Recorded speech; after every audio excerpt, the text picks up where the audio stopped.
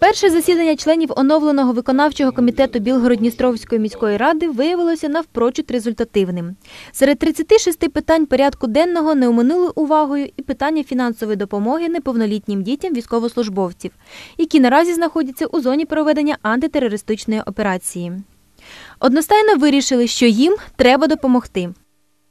До управління звернулися члени е, сімей учасників АТО, які бажають отримувати з міського бюджету згідно е, з законними гарантіями виплати на неповнолітніх дітей.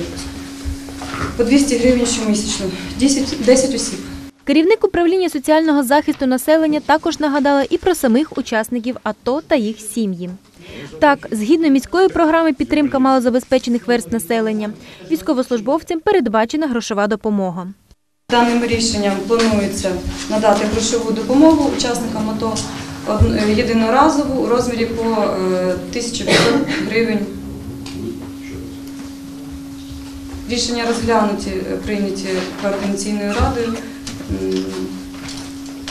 Просимо затвердити.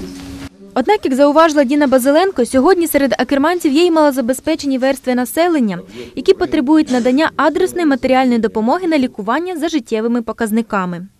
Не забули і про категорію громадян, які потребують надання щомісячної матеріальної допомоги на лікування.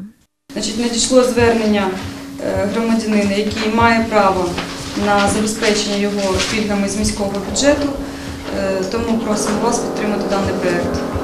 Також члени виконкому підтримали проект про виплату допомоги на поховання померлих. Тим, хто здійснив поховання близької людини, з міського бюджету також нададуть фінансову допомогу. Олена Малайван, Анатолій Лукінчук, Бесарабія ТВ.